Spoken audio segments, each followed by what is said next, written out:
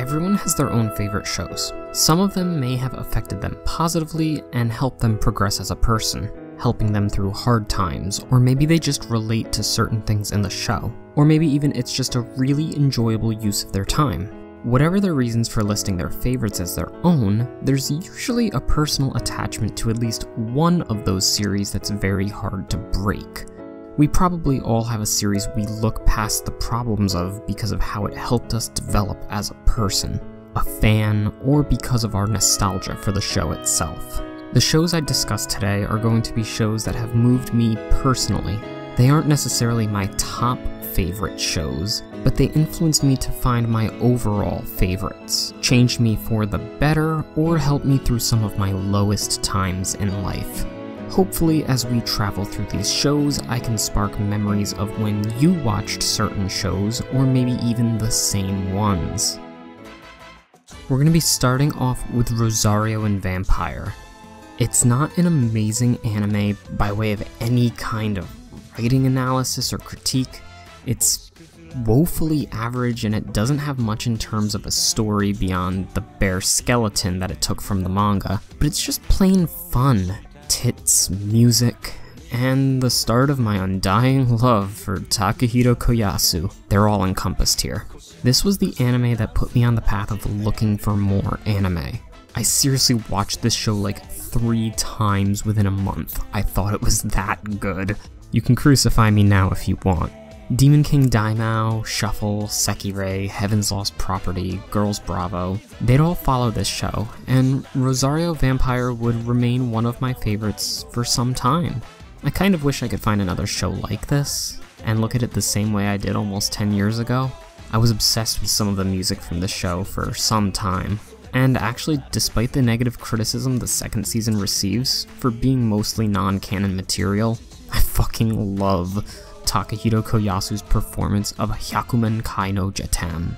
The English version was my entryway into the series, and I honestly didn't mind that version of the song either, but most of the English songs did bother me. I've been meaning to go back and try rewatching it in Japanese, but I think I'd rather let this show stay a fond memory and just enjoy the music it had to offer.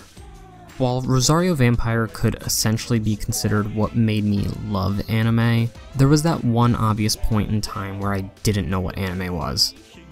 And for years, I remember a show with a giant purple and green robot and a military organization trying to take out aliens. I'm sure it's no surprise by the music you're hearing and the description I'm giving that I mean none other than Neon Genesis Evangelion.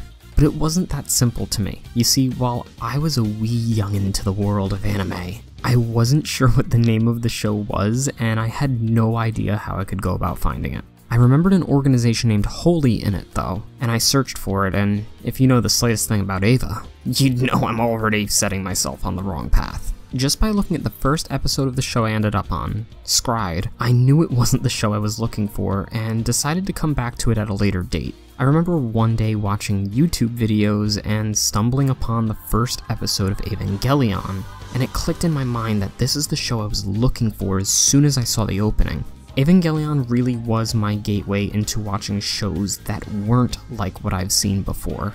I quickly followed it up with Serial Experiments Lain, The Future Diary, Eden of the East, and Perfect Blue solidifying psychological anime as one of my favorite genres to this day. Up to this point, I didn't see a show that emotionally moved me though. It wasn't until I rewatched Evangelion with my cousin that I started to actually look at it more and saw similarities between me and Shinji with the rough relationship I had with my father at the time. Of course, Eva's representation of it was much more exaggerated than my situation, but I was able to relate to Shinji and he was the first character in any form of fiction that I actually resonated with on a deeper level than thinking he looked awesome. I had my fictional favorites before, like Albel Nox from Star Ocean Till the End of Time, or Vincent Valentine from Final Fantasy VII, but I didn't relate to them like I did with Shinji. By the way, can you feel the edge yet?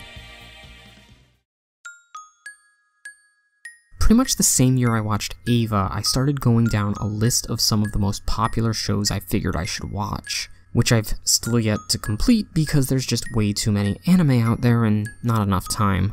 Eventually, I watched Clannad, and I cried because of Tomoya's relationship with his father. It was a much more relatable thing to me. I felt Tomoya's anger towards his father, because I felt my own anger towards my own father. It was an emotional journey for me, and it was actually hard to get through some of the episodes, because it reminded me of the times before all the problems, and it made me hope that it would all go away. But I still wanted to see how Tomoya found himself through these problems. Maybe I could learn something from this little piece of animation that would help me. As you could probably imagine, that wasn't the case. I just found something to bury my emotions in. But it convinced me that, you know, maybe as bad as I think things are, they really aren't as bad as I can sometimes make them out to be. And in time, things might work out in the end. Surely I've had a rough time with my relationship with my dad since then, but looking back on it, I was pretty much right. Certain things had to happen, time had to pass, and we both just needed some time to ourselves. Surely I still miss what it was like before, but I think it's the next show that really turned me this way. One of the biggest problems between me and my dad was our aunt. She was a great woman, don't get me wrong, but they had their issues, and it bled into the problems I had with my dad.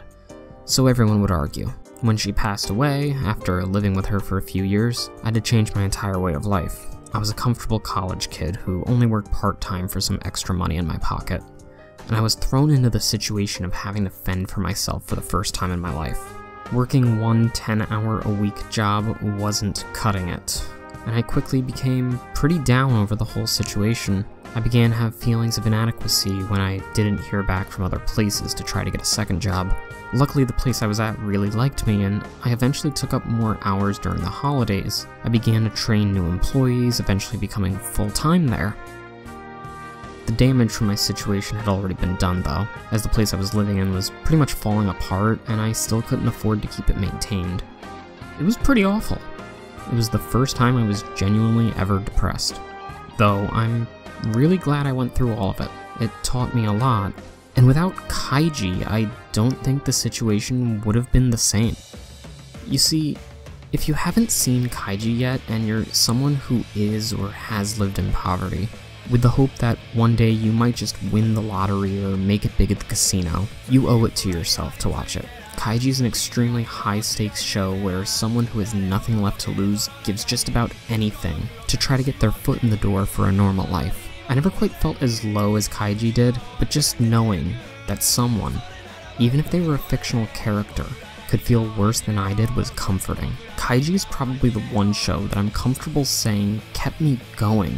Just the idea of it could always be worse allowed me to power through the bad and get to a better place. Maybe that's not the best advice for everyone, but it worked for me. But this isn't a video you should be coming to looking for life advice now, is it? Rather, I want you to think about shows that might have affected you in some way. Maybe similar ways to the shows that I've listed. There's more to anime than just looking for tight writing or great world building.